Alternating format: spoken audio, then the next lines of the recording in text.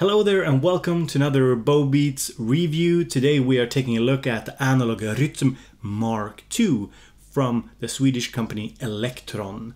Now I have previously reviewed Analog 4 Mark II and if you want to check that out you can go to the link in the description. In this review I will go over four different things. Firstly, what is the Analog Rytm Mark II? Secondly, what are the new features? Thirdly, a comparison with the Digitakt and the Octatrack. And fourth, give my first impressions and talk a little bit about whether or not this device is worth the money, because it is quite an expensive device.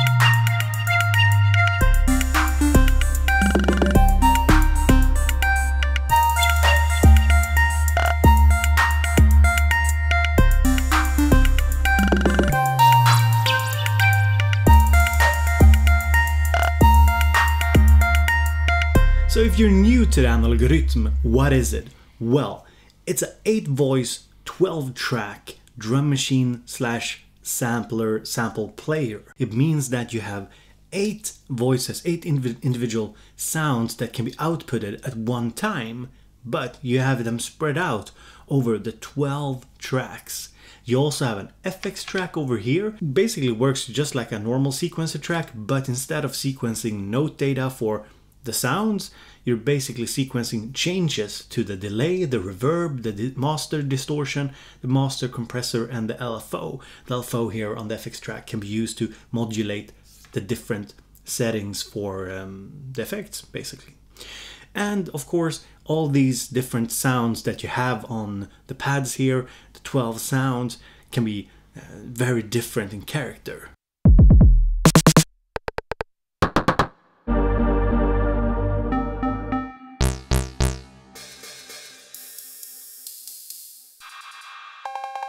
So the analog sound engine on the analog Rytm is quite different from something like the DrumBrute.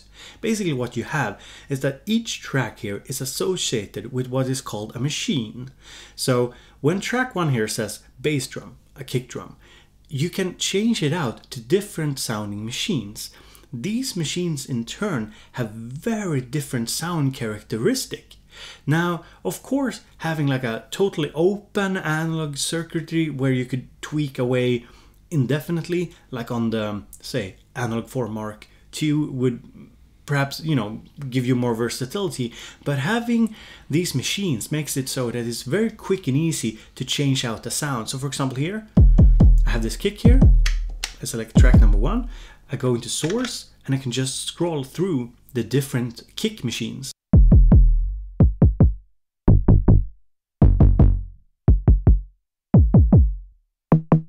And on track number one, I also have snare drums available. and a noise generator and an impulse generator. And the noise generator and impulse generator I think is available on most of the tracks. Now of course this layout means that not every track can have the same machines. So for example, on the bottom row here you basically have the, the kick drum and snare drum section and then you have the snare, rim shot and clap section over here and in the middle here you have the tom section so you have two different machines that are designed to create tom sounds and up here you have a bunch of different hi-hats and cymbal and cowbell type sounds. So besides sounding different, each machine also have different settings. As you can see when I scroll through here, you can see that the settings change depending on what machine is being loaded. And these settings, of course, have a huge impact on how you shape the sound. So for each bass drum machine that you can load, you have different settings, and that really makes it so that you can quickly create quite different type of, of drum sounds.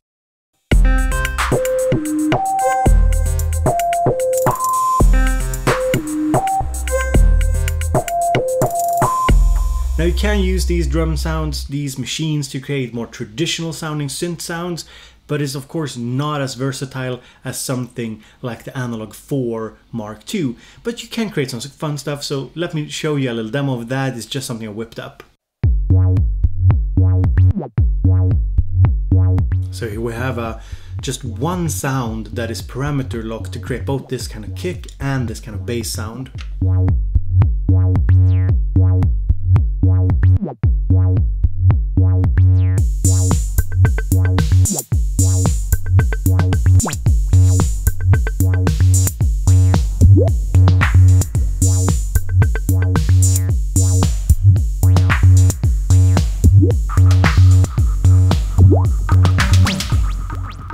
Talked about earlier, each track can hold a sample. A sample can be loaded via USB or you can sample it into the unit. This is new for the Mark II. Now let me address a question that always comes up. Can you time stretch? And the answer is no. You can pitch samples, you can set start and you can set end and you can set loop, but you can't time stretch. That is a feature that is only available on the Elektron Octatrack if you want to stick with the Elektron brand that is. Now let's talk a little bit about the sequencer. You access it by selecting a track, pressing the record, and you can see that these light up. These red ones here are active steps. They transmit a, a, note value. Now what you can do on Elektron is that you can parameter lock. And of course, if you're not new to Elektron products, you know this. Basically what you have is you press a step and you can go into whatever menu you want here and parameter lock a change. And you can see that it's parameter locked by the kind of white background on the actual value. So if I change something here, say the filter frequency, you can see that it changes to a white background. That means that the step is parameter locked. Now, what you can do on the analog Rytm that kind of sets it apart from other drum machines is that you cannot only mix between the analog circuitry and and I can't pronounce the circuit, circuitry, analog circuitry. Somebody can leave a comment down below how I pronounce that. But anyway, you can change between this analog sound and the sample. And the way you can use this is that you can, of course, parameter lock it so that you have, for example, on number one here, you have the analog kick drum. And on step number three here, you have a sample playing, say a bass sample, a synth sample. That way you can use one track to create much more detailed and complex electronic music and electronic sounds than you could on, on pretty much any other sequencer with these step parameter changes. So let me show you that in a little demo. And this is some minimalistic stuff that I just recorded yesterday, but I wanted to show you that with just one track, you can create a pretty complex soundscape. And of course, there are, are plenty of demos out there showcasing this, so this is just a brief little demo overview.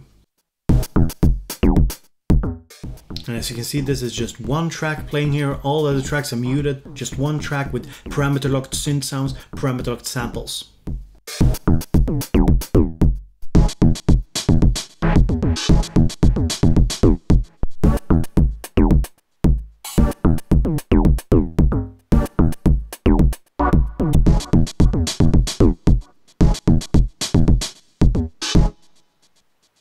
Something that sets this drum machine as, apart as well for, from other drum machines is the pretty extensive effects section. So for samples, you have bit reduction. For the entire track, you have under amp here, you have overdrive as well, which changes up the character. And you also have delay and uh, reverb here, delay and reverb. And you have distortion, which is a master effect, so it impacts pretty much all the tracks. You can set it up differently so you can just have a couple of tracks going into the effects. But anyway, and you also have a master compressor, and there are also different settings for how the master effects come into play, how they affect the delay and reverb and so on. But I won't go into that deep a detail in this review.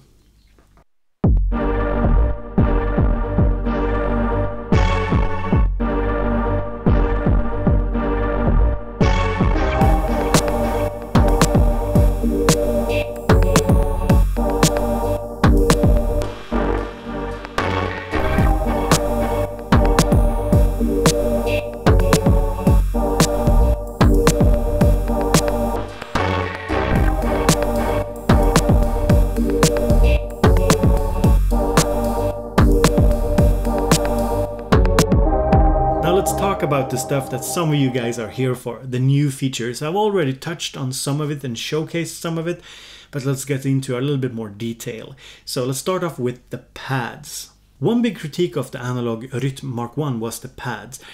People thought they were small, very stiff, a little bit unresponsive. And for me personally, it did hurt my hands playing them over a long period of time because I have small, gentle, and, and soft hands.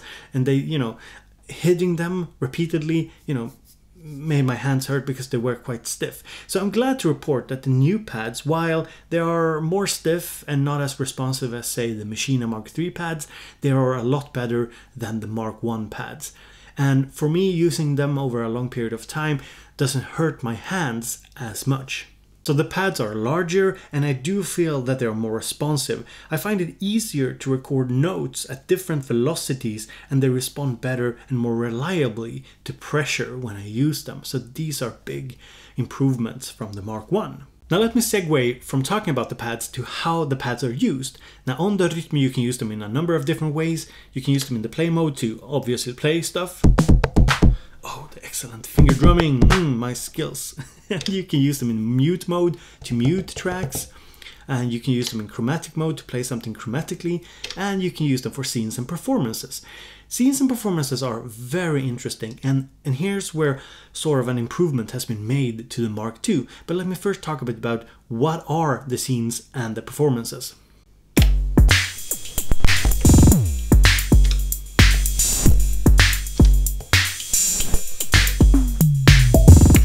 Scenes basically functions like an on and off switch for parameter changes for one or more tracks. These are not tied to steps but are global, so it's different from say parameter locking a step. So basically you switch it on or rather you switch it, switch it on and you switch it off. And it can sound something like this.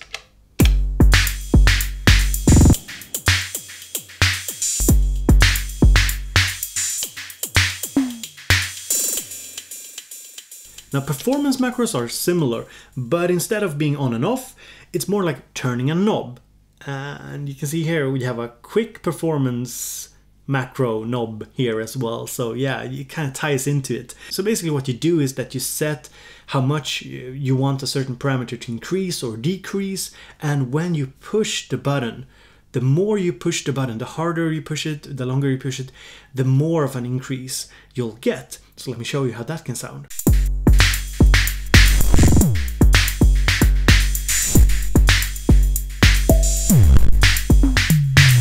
Basically scenes here are better for large quick changes. For example changing tuning. Say you, you want to pitch shift an entire pattern for example. You can do that with a scene. You don't want that to happen gradually. And and with a performance it's better for these kind of filter sweeps. Or say you want to make it like a transition effect where you um, where you kind of uh, how do you say low cut low cut a lot of stuff and add um, effects to it. That's where i would use like a performance macro instead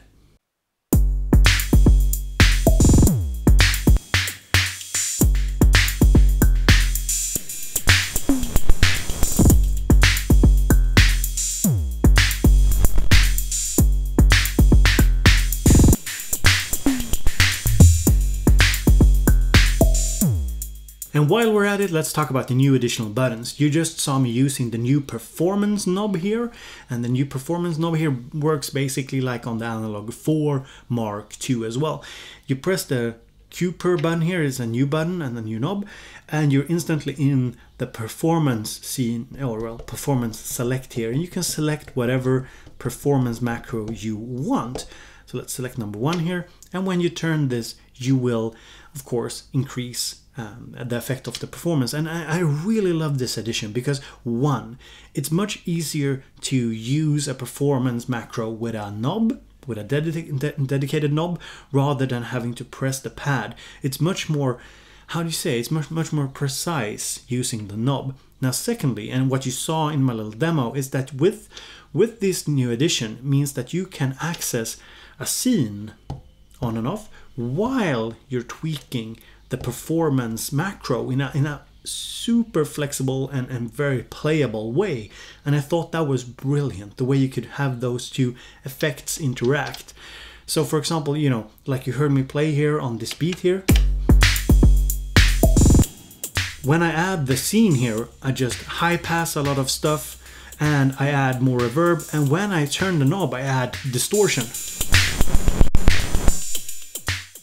So it becomes this kind of rhythmic, rhythmic breakdown.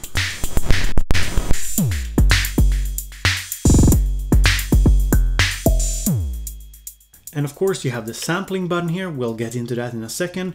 You also have the fill over here. Uh, the chain and song are actually not new per se, they're different buttons, they're moved, but you had those on the Mark 1 as well. You also have the fix button over here, which is really handy. It fixes the velocities. If you use the function and fix here, you can set how at what velocity you want it to be fixed. And then you just go out of the menu and you can you know press it.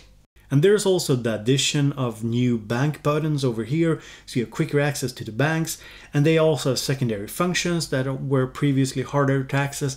So here, for example, on the top row, you have quick access to different settings for the patterns. And the temporary jump is really interesting because when you are playing a pattern like this and you enable it, it means that when you hold another pattern, it goes to that pattern and when you release the pattern, it goes back to the previous pattern. So I thought that was really cool. And that is of course very useful for live performances and whatnot. So yeah, that's something to, to check out maybe in a future video or something like that.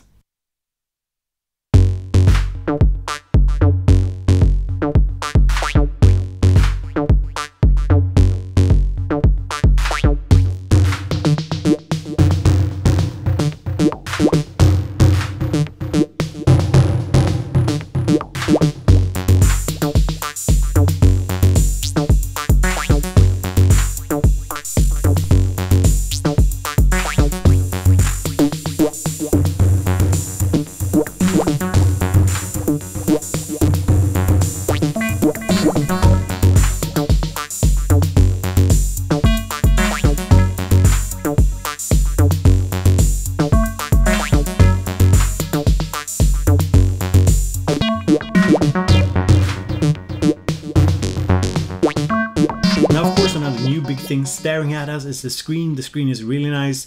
It's a lot better than the Mark 1 screen, easier to read at an angle, and to me it's identical to the Analog 4 Mark II screens. Now, I don't think it's as good as the screen on the Digitakt. I'm not sure if it's the colors or the, the size difference.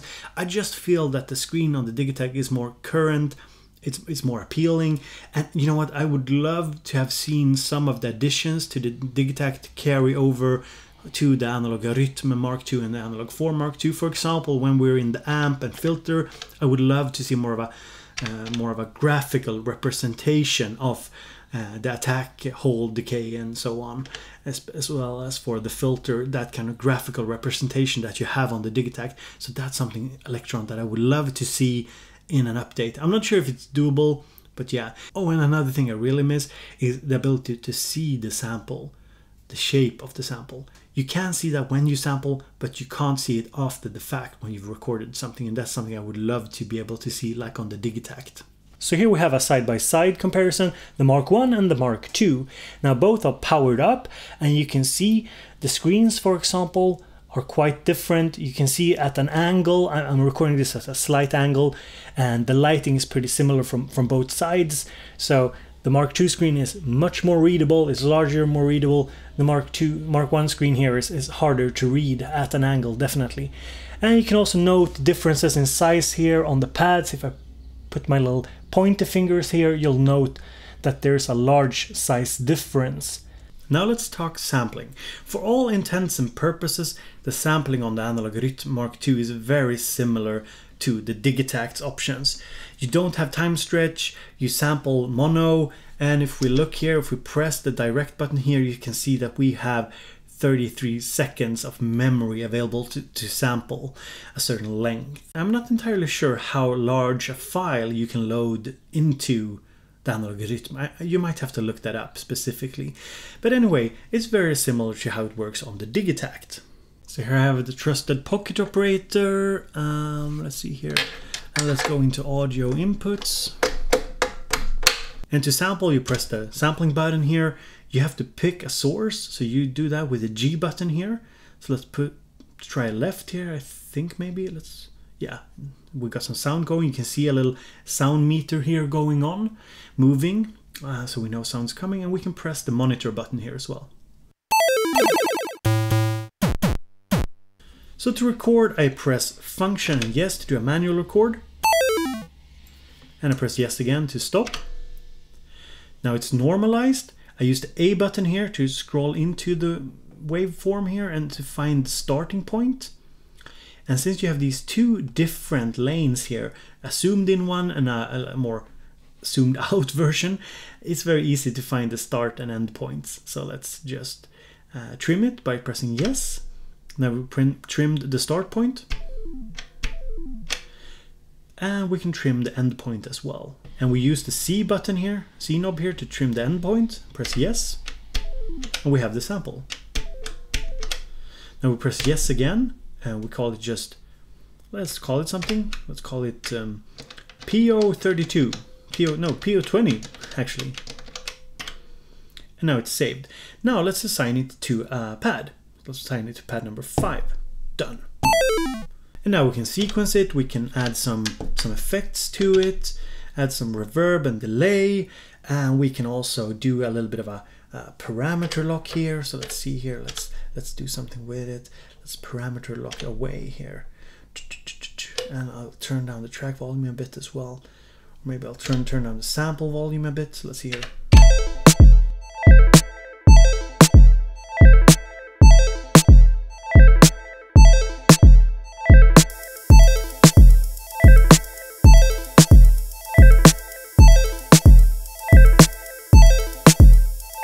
There's one difference between the Digitakt and the Rytm with what you can do with the sample, and that's the looping feature. So on the Rytm here, you have the looping on and off. So you can use a very short uh, waveform to create, say, a synth sound, but you can't set um, a loop point like you could on the Digitakt.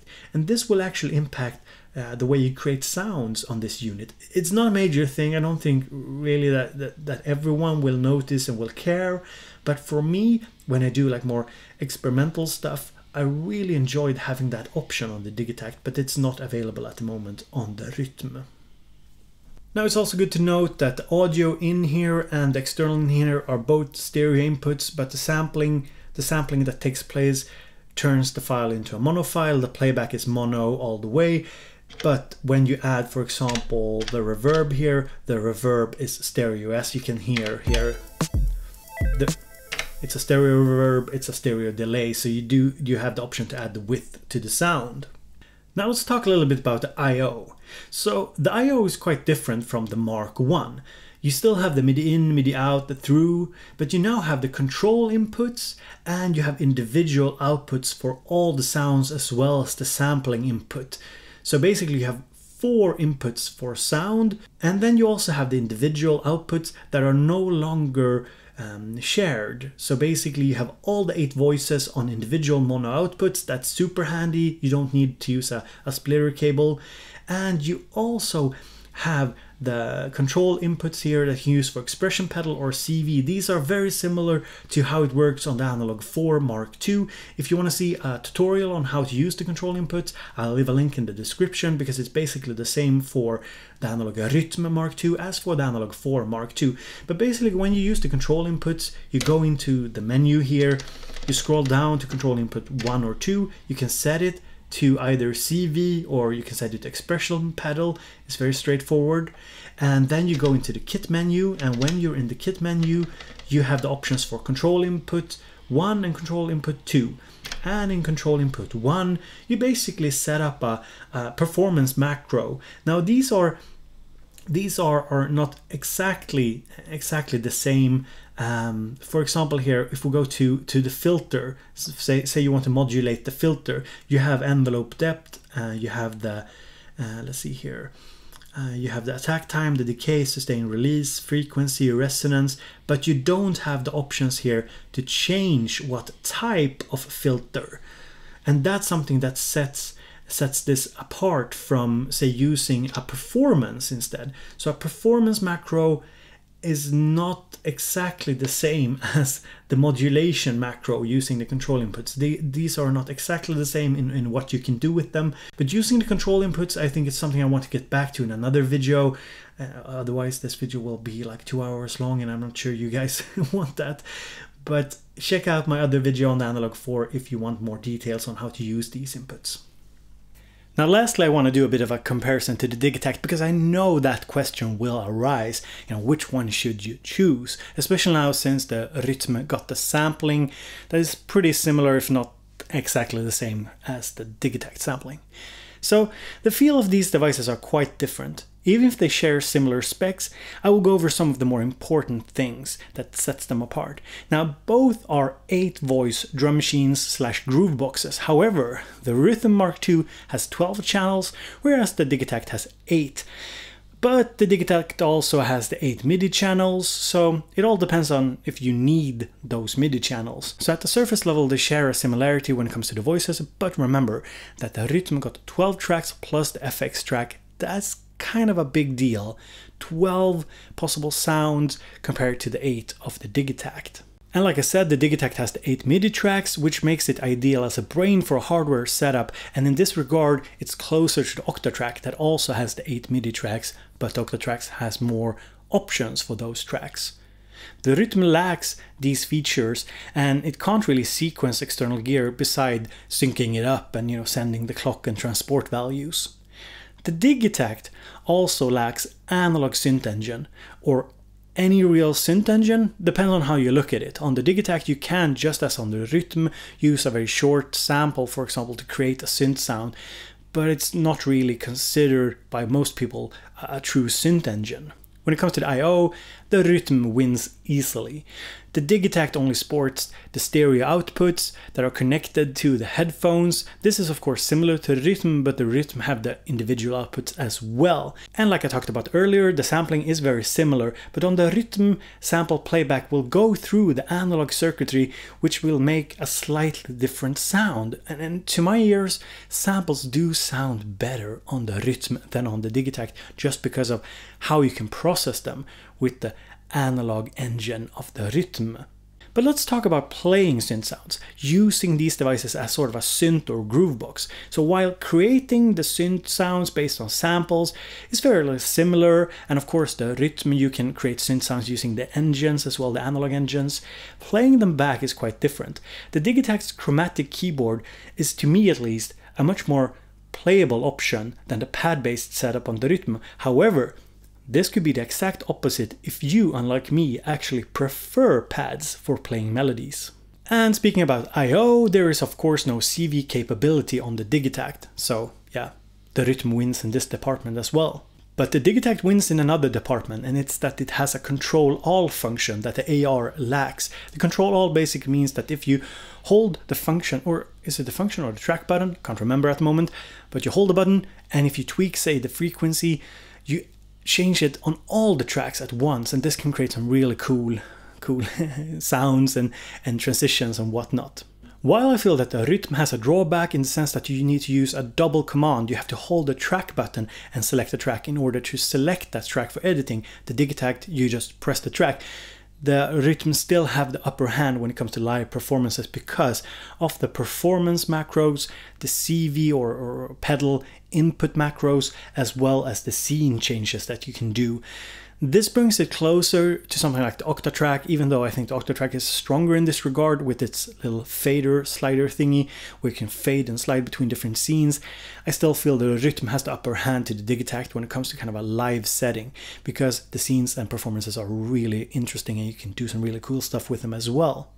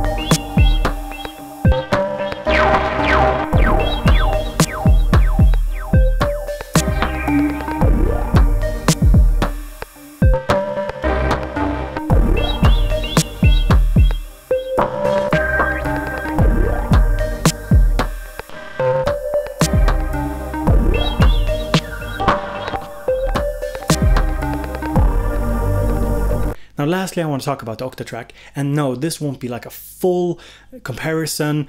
I think it's, it's just that I want to address some of the questions that I get. So I'm frequently asked about whether to get the Digitakt, the Rytm, or the Octatrack.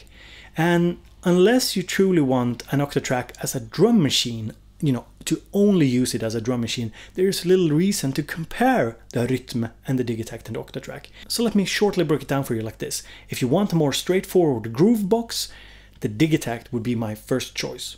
If you want the best possible drum machine, the Rytm is the best. If you want a sampler to sample, edit samples, to work with samples, I would say the Octatrack is the best. If you mainly want a MIDI sequencer, but you don't want all the bells and whistles, go for the Digitakt. And if you want an analog synthesizer, obviously go for the Analog 4 or the Analog Keys. That's kind of my rundown. Oh, and maybe if you're into heavy live performances and you want something to, to kind of skip the computer, go for the Octatrack. And last in this video, I just want to talk about my first impressions and answer the question if I think it's worth the money to get the Analog Rytm Mark II. Now, firstly, is this the best drum machine out there? And I think, yeah, I think it is. Now, of course, it has a has a price tag to match, but I do think it's super versatile. I think you get nice effects section, you get really nice sequencing, powerful synthesis, powerful sampling engine, and of course, you know, you can always point to products like the MPC Live, the Torres, Doctor Track to be competitors. But I think when you want that analog sound in combination with a very modern approach to sampling, to sequencing, and so on, I think there's just not that many options out there that can compete on this level. Uh, so yeah, I think it's the best drum machine that you can pretty much get at the moment but it's not the best sampler out there obviously.